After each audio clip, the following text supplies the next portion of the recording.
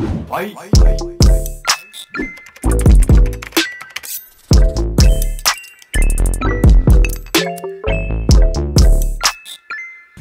What's up guys, welcome back again to my another video. Nah kali ini kita akan mau ngobrolin lagi sambungan dari video yang tadi Yang videonya agak remang-remang tapi kualitasnya itu Maksudnya kualitas obrolannya itu bagus banget. Itulah ngobrolin tentang marketing. Jadi marketing secara basic ya Kan tadi kita udah ngomongin kayak Gimana cara kita nge-manage keuangan kita untuk uh, Bikin, kayak bikin, ngeran Facebook Ads gitu kan. Nah, kalian belum lihat tak kasih link di bawah ya supaya kalian bisa pelajari dulu video yang sebelumnya. Setelah itu balik lagi ke video ini. Intinya adalah itu tadi kita nge-manage uang untuk ngaran Facebook Ads. Nah uh, kebanyakan orang ketika mereka ngaran iklan di Facebook Ads itu kan yang di range itu malah bikin boncos. Maksudnya gini konten marketingnya seperti video atau gambar atau copywritingnya itu jelek.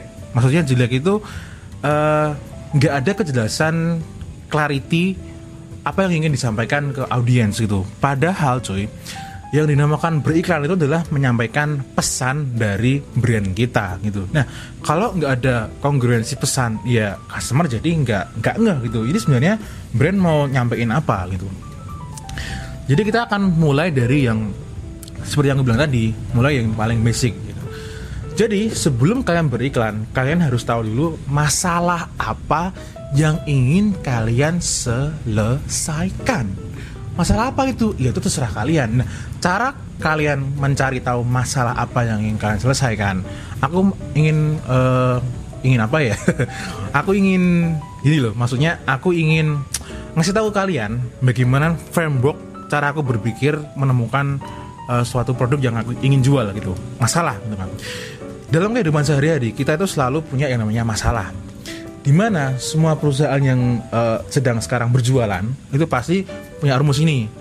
Masalah itu harus dicarikan solusi.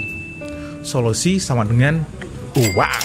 Nah kalau kalian udah paham secara basicnya ntar kalian akan gampang banget nemunya. Katakanlah masalah gitu kan. Masalah apa? Katakanlah gojek nih. Masalah yang diselesaikan oleh gojek itu adalah orang kepingin berpergian gitu kan. Uh, berpergian menggunakan misalnya dengan kenyamanan gadget kita gitu kan. Nah, itu kan di beberapa tahun yang lalu kan itu belum ada gitu kan. Transportasi umum hanya sebatas kayak uh, bis, terus uh, taksi gitu dan itu caranya kita dapetin itu ribet banget gitu kan. Kalau taksi kita harus telepon, terus ngeluarin pulsa dan sebagainya.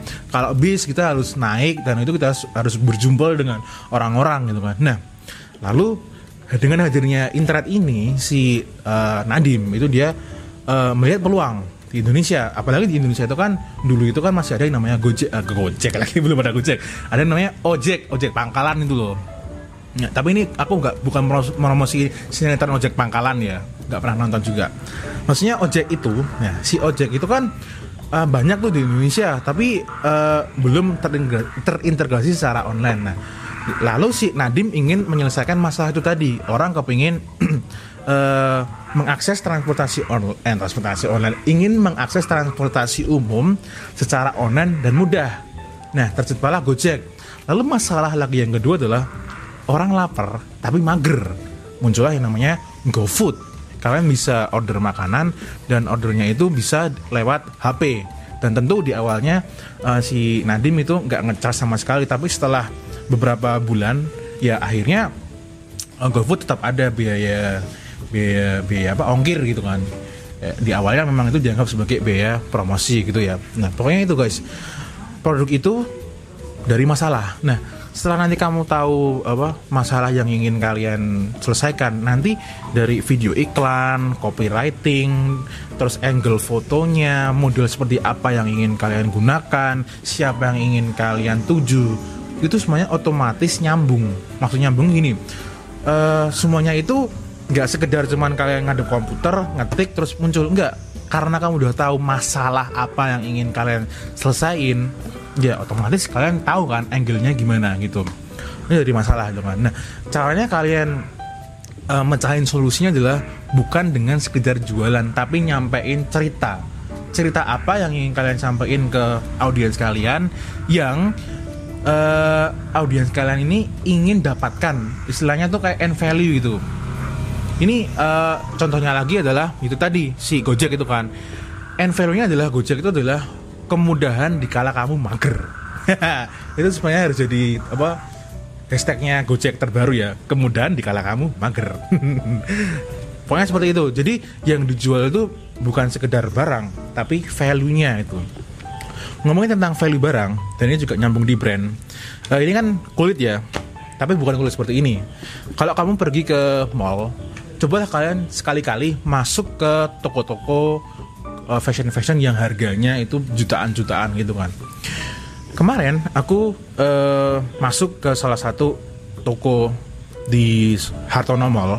Eh, di sorry di Amplas ya.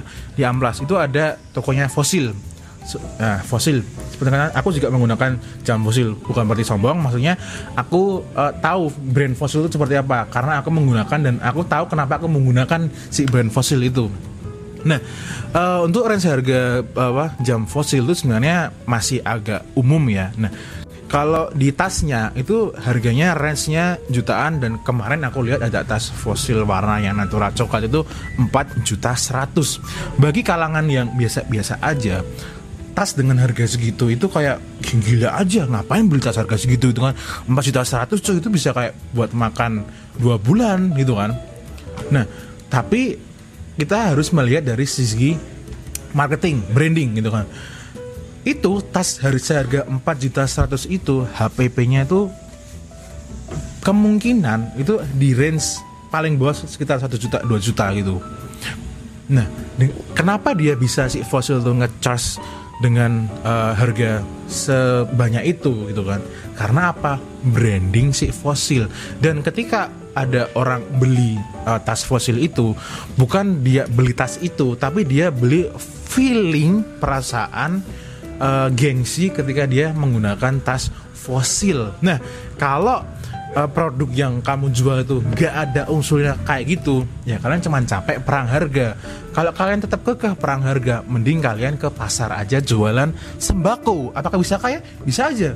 Kan ada tuh judakan-judakan sembako. Tapi bukannya aku uh, mendiskriminasi itu adalah pilihan. Tapi kalau kalian ingin uh, jualan di, di apa jualan lagi kalian ingin menggunakan digital marketing atau ingin uh, ngebangun brand dan sebagainya ya kalian harus menggunakan cara seperti itu. Kalian harus memahami uh, emosi atau psikologi manusia itu kalau kalian udah bisa nge apa istilahnya nge unlock atau tahu triggernya itu enak banget cuy. Jualan itu kayak wah enak banget. Tapi kalau kalian udah tahu itu ya jangan cuman jualan ludah doang. Oke okay, yang next adalah Iya, barusan aku telepon sama salah seorang subscriber. Wah, gila banget nih. oh iya, di belakang ada ada ada ada teman kita. Lagi-lagi ada si Adi The Man from Gerabak tapi di belakang kamera dia ketawa-tawa. Nah, jadi aku tadi barusan telepon sama salah seorang subscriber aku dan dia ini ternyata seorang pengusaha yang udah gede banget dan real breed entrepreneur. Karena gini, dia itu sampai rela mengorbankan gajinya sendiri untuk ngebangun brandnya. Wah, ini keren banget. Ya, dia ini punya brand kulit brand skincare gitu kan. Dan dari percakapan panjang itu hampir satu jam 50 menit cuy. Itu uh, mbaknya ini gitu kan. Mbaknya ini itu dia bisa scale up sampai bisa ngadain pre-order sekali pre-order itu sampai 1000 pieces kulit. Itu dia tanpa digital marketing dan kamu di sana masih bingung cara setup iklan. Aduh deh ini mak-mak itu kan yang kece badai dia bisa jualan tanpa digital marketing bisa PO 1000 karena apa? Dia sudah bangun brand. Jadi guys dengan kalian menggunakan digital marketing Facebook dan Instagram Ads bukan berarti kalian langsung jualan banjir ya jualan banjir maksudnya gimana? Maksudnya kalian kebanjiran order gitu ya. Nah jadi tetap harus ada uh, memenuhi faedah-faedah seperti itu. Makanya kalau ada orang yang uh, punya website yang namanya kayak uh, toko nama tokonya itu yang kayak didengar tuh ya bikin ilfil kayak uh, pengusir ketombe kayak uh, what terus kayak apa nih jurus ampuh menghilangkan ketombe jurus ampuh menghilangkan jerawat itu kayak uh, what seriously? Gitu kan. Bahkan ada yang domainnya XZZ hmm, you kidding me bro. Uh, itu orang-orang yang nggak mikirin branding. Nah tapi kalau branding dipikirin dari awal kayak mbak- mbaknya yang aku bilang tadi yang aku teleponan lama itu nggak pakai digital marketing pun itu bisa PO sampai 1000 pieces. Dan itu ya ketika PO itu habis ya next time ada PO lagi gitu. Dan pe- bayangin itu PO loh kenapa orang-orang mau beli barang yang barangnya itu belum ada? Karena trust trust dari mana PO brand. Brand itu seolah-olah ketika kamu transaksi kamu transaksinya itu ke kayak ada orang ada ada ada, ada, ada istilahnya gimana ya? Kalau kamu cuma jualan yang aku bilang tadi website website gak jelas itu kan nggak ada kejelasan. Ini tuh siapa sih gitu. Tapi kalau ada brand itu ada semacam eh, image yang terbangun dari brand yang itu tadi trust. Karena apa? Ada brand brand itu seolah-olah kayak orang gitu. Oh aku transaksi transaksi sama seseorang gitu. Itulah kenapa si mbaknya ini bisa eh, jualan barang tapi PO sampai 1000 pieces. Nah jadi PR buat kalian yang sekarang mau terjun di digital marketing atau bisnis online yang sebenarnya bisnis online itu nggak ada.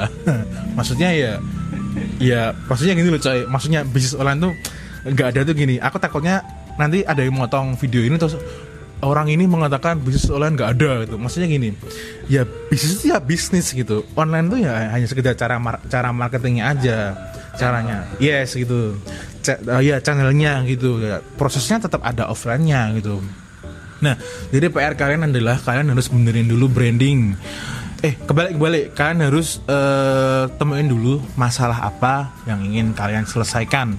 Kalau udah ketemu masalah apa nanti akan ketemu solusi. Nah di solusi itu ntar kalian bakal ketemu produk. Terus nanti kalian ingin cara menyelesaikannya gimana itu kalian bisa ambil berbagai macam angle gitu. Karena kan skincare gitu kan. Kalian bisa cari uh, skincare yang uh, dia itu bisa menyelesaikan tanpa ketergantungan atau apa. Pokoknya cari angle-angle yang itu uh, belum diekspos oleh orang lain gitu bahkan tadi aku lihat ada perusahaan di Kanada itu jualan udara men beneran coy ada ada orang jualan udara gitu Udara dari mana gitu kan? Ya, Dari- ud- udara dari pegunungan dijual dalam bentuk botol gitu. Kok bisa itu tadi kan? Nah, bukan sekedar jualan barang gitu. Tadi ya, jadi masalah itu nanti akan ketemu solusi dan solusi akan ketemu eh, uang berbentuk yang tadi produk itu tadi. Dan supaya kalian bisa dapat margin yang besar kalian harus punya yang namanya margin. Eh margin lagi. Bro, margin. supaya kalian bisa dapat margin yang besar kan harus uh, punya yang namanya branding. Karena apa? Dengan branding kamu punya identity. Identity itu adalah pembeda. Dengan kalian tidak pembeda maka orang-orang ketika mau beli uh, ketika udah beli atau udah tahu brand kamu mereka akan merujuk ke brand kamu. Karena ya brandnya kamu bukan tempat lain gitu. Lalu setelah kalian punya brand ya brandnya dikembangin. Istilahnya kalau orang kalau udah punya brand itu eh, kayak seperti udah punya bayi gitu. Apa pun yang terjadi itu tadi kalian harus besarin. Kayak mbaknya itu tadi bahkan demi dia ngebesarin brandnya dia rela ngorbanin gajinya sendiri. Ternyata ada yang kurang ini. Oh ya jadi itu tadi proses marketing di Facebook Ads sama Instagram Ads itu semuanya cuma ngikutin dari proses awal yang tadi. Kalau kalian di awal tadi sudah beres, sudah clear, nanti kalian akan otomatis bisa ngiklan dengan lebih mudah dan kalian tentu saja setelah itu tadi udah udah jelas ya kayak masalahnya apa, solusinya apa, terus eh, uang mengalir gitu kan. Nah, itu nanti Sik guys, kok aku jadi blank ya? Hmm, ya. Eh, video ad-nya seperti apa, gambar ad-nya seperti apa, copywriting-nya seperti apa itu nanti akan ngalir sendiri guys, ya. Jadi kalian nggak usah pusing-pusing lagi, yang perlu pusing adalah pusing di awal aja gitu kan. Oke guys, ini sudah sangat panjang lebar sepertinya. Ini mungkin sudah 10 menit lebih ya, tapi nggak apa-apa ini. Oh 14 menit malahan nggak apa-apa guys. Karena ini materinya penting banget supaya kalian nggak boncos gitu kan. Oke, eh, next time aku masih belum tahu mau bikin video apa, tapi yang penting ini penting banget. Please, please, please, please, please, PR ini dikerjain, benar-benar dikerjain, riset lah sampai kalian mungkin nggak tidur kalau memang perlu gitu kan, tapi jangan sih jaga kesehatan. Oke, kalian riset benar-benar riset masalah apa yang ingin kalian, kalian riset masalah apa yang ingin kalian selesaikan ya, karena dengan hanya dengan cara seperti itu kalian akan tahu apa yang kalian iklankan. Oke, cukup sekian untuk kali ini kalau panjang lebar karena memang sengaja karena topiknya sangat panjang dan perlu dijelaskan secara panjang Kalau ada ada yang ingin diskusi silahkan diskusi di kolom komentar atau kalian bisa DM di Instagram aku atau gabung eh gabung lagi kalian bisa gabung di grup Telegram dan seperti biasa jangan tanya pertanyaan yang aku bikin bingung ya. Oke okay, guys, see you again in the next video. Bye bye.